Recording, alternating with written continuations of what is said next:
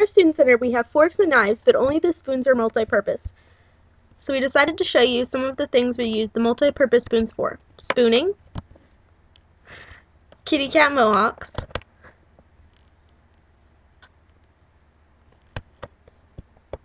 the hypothesis that Edwina Spoonhands would actually have a relatively easy time eating cereal. It's wrong.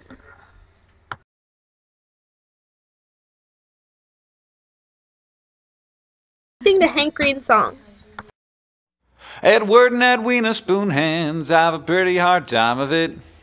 They can hardly eat cereal and they can only type about three words a minute, but they both agree it's not as bad as it. Turning lights on.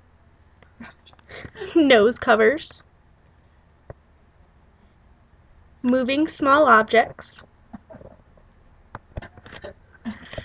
Impromptu eye patches. Drums. Clicking together. Spoon Tai Chi.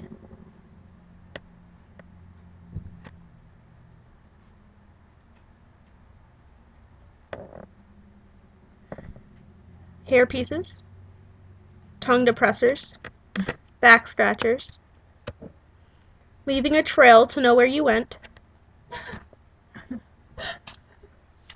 sword fighting.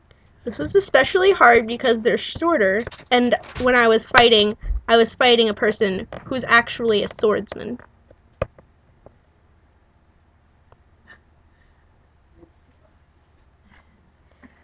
Making tulips, baseball. I actually hit it. Light corporal punishment. Catapulting. So that's it for my vlog today. I've been waiting a long time to say this, but I'll see you guys this weekend.